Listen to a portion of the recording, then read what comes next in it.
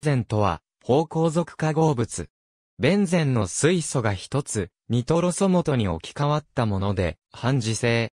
二両体イコール NC6H5 との平行を持つ。単両体は、緑色で二両体は無色。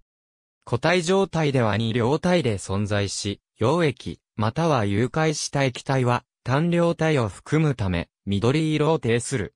ニトロソベンゼンは、アドルフ・フォンバイヤーによって、最初に合成された。彼は、ジフェニル水銀と、シ化ニトロシルとの反応によって、ニトロソベンゼンを得た。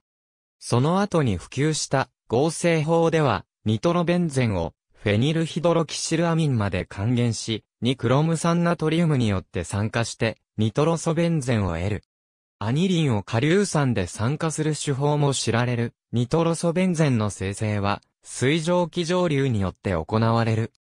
緑色の液体として、ニトロソベンゼンの単量体が流出し、間もなくに量化して、無色の固体となる。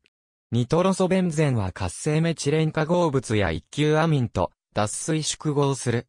アニリン及び誘導体と縮合した場合は、アゾベンゼンを与える。この反応は、ミルズ反応と呼ばれる。フェニルアセトニトリルと縮合して、意味を与える反応は、エーリヒサックス反応と呼ばれる。ニトロソベンゼンを酸化すると、ニトロベンゼンが還元すると、フェニルヒドロキシルアミンもしくはアニリンが得られる。ニトロソベンゼンの単量体は、三色媒の下で、ジエンとディールスワルダー反応を起こす。ありがとうございます。